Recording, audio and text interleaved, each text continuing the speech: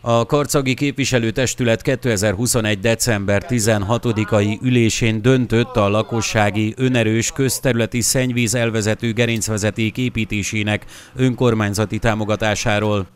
Ez azt jelenti, hogy abban az utcában, ahol eddig nem volt kiépített szennyvízvezeték, ott ha az ingatlan tulajdonosok legalább fele vállalta a 250 ezer forintnyi önerő befizetését, akkor az önkormányzat megterveztette az adott szakaszt, valamint lefolytatta az engedélyezési eljárást is.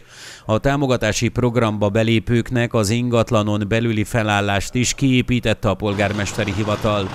Aki nem lépett be a társulásba, annak az ingatlanja előtt az utcán csinálták meg ezt a felállást.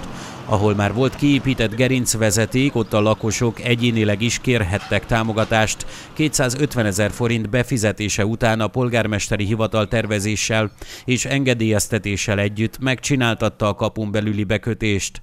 A költségvetési rendeletben elfogadott, minden évben erre a célra elkülönített támogatási keretösszeg erejéig kapattak erre a célra támogatást a karcagi ingatlan tulajdonosok.